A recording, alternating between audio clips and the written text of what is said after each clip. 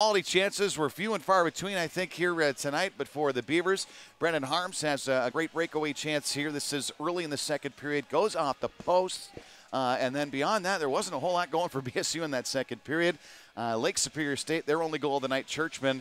Uh, Eric, talk about this. I mean, he came in with such speed, he really backed everybody in. He did, and Prapavessis was, you know, I mean, with all that speed, he had to get back too, and just got back too far in his own zone. Beavers end up uh, tying it up late in the second period, the 1919 mark. It's Illo underneath the glove, just over the pad. A great shot. Really nice play, coming off the half board like that, with a lot of speed.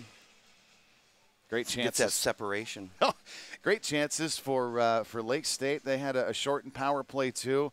Uh, and another breakaway here. Oh, yeah. First of all, the breakaway uh, for Cory Ward that was to end the second period, actually. There was maybe a second left. Yeah. They, like they got in a little tighter. And then Cory Ward, another breakaway chance here in the third period. This was just after a, a power play try. I guess it was meant to be. It is. It was fitting that it was his his time right third, here. Three, third, third time's the charm as he comes down and, and just what a great shot. Roofs it over top of the or under the crossbar and over over top of the shoulder. It wasn't much room there, but he found it. He did. Yep. Just a just a nice play, nice shot. Way to come over and support that play though, and so they was able to get that puck.